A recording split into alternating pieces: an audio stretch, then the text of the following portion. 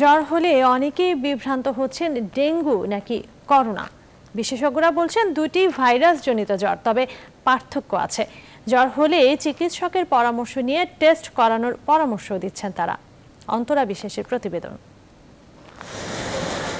মহামারীর মধ্যে ডেঙ্গুর প্রকোপ বাড়ছে দিন দিন। মঙ্গলবার সকাল আটটা পর্যন্ত চব্বিশ ঘন্টায় আরও দুশো ছাব্বিশ জন ডেঙ্গু আক্রান্ত হয়েছেন। তাদের মধ্যে পনেরো জন ঢাকার বাইরে এবং দুশো এগারো জন ঢাকার বিভিন্ন হাসপাতালে ভর্তি হয়েছেন। এ নিয়ে চলতি মাসের দশ দিনে আক্রান্তের সংখ্যা দাঁড়িয়েছে দুই হাজার তিনশো একুশে।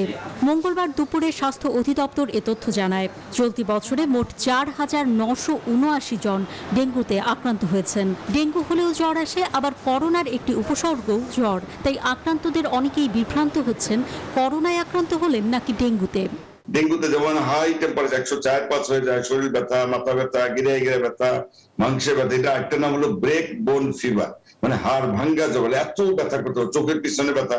এগুলো সাধারণত টিপিক্যাল সিমটমে হয় ক্লাসিক্যাল ডেঙ্গুতে হয়। জ্বরের চার পাঁচ দিনের সময় যেমন গায়ে র্যাশ উঠতে পারে। করোনা তো এই ধরনের লক্ষণ তো এটাও ভাইরাস রোগীর শ্বাসকষ্ট হয়, কাশি হয় অক্সিজেন ফল করে যায়, এবং করতে এমন হয় যে তাড়াতাড়ি হাসপাতাল নিতে হয় আইসিইউ নিতে হয় অক্সিজেন সাপোর্ট না রোগী মারা যায়, এগুলো আবার ডেঙ্গু এতটা হয় না। তবে হ্যাঁ ডেঙ্গু শক সিন্ড্রোম একটা কথা আছে, যদিও রেয়ার সেখানে কিন্তু এই ধরনের ঘটনা ঘটতেও পারে আর কি। এর আগে জুলাই মাসে দুই হাজার দুশো ছিয়াশি জন, জুন মাসে দুশো বাহাত্তর জন এবং মে মাসে তেতাল্লিশ জন ডেঙ্গুতে আক্রান্ত হয়েছিল বলে জানায় স্বাস্থ্য অধিদপ্তর। টেস্টটা তো অবশ্যই করতে হবে। সাথে আমাদের দেখা যাচ্ছে অনেকে কোভিড হচ্ছে বা ডেঙ্গু হচ্ছে। এবং ডেঙ্গুর সিজনটা আসলে এরকম এই টাইমে বর্ষা মৌসুমে ডেঙ্গু মশাটা প্রাদুর্ভাব দেখা যায় এবং এবারে আসলে থেমে থেমে হচ্ছে, যার ফলে ডেঙ্গু আক্রান্তের সংখ্যাটা বাড়ছে। ডাব খায় খোসা রাখে বা যে চিপসের খোসা ইভেন যে টায়ার ফলায় রাখে বা মধ্যে কিন্তু ইভেন রাস্তাঘাটে দেখবেন অনেকগুলো ফুলের টপটর মতো দেখা যায় মধ্যে পানি জম দেয় এর মধ্যে পানি যেখানেই জমবে ফ্রেশ পানি পেলে কিন্তু মশাগুলো ডিম পারে।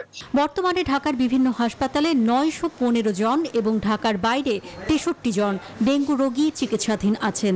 ডেঙ্গু থেকে বাঁচতে সচেতনতার কোনো বিকল্প নেই বলে মত বিশেষজ্ঞদের। মশা মারা তুর্য চলতেছে। আসলে এই কাজটা যদি সারা বছর যাবত করতো তাহলে কিন্তু এই ঝামেলাটা হতো না কিন্তু। অন্তরা বিশ্বাস নিউজ টোয়েন্টি ঢাকা।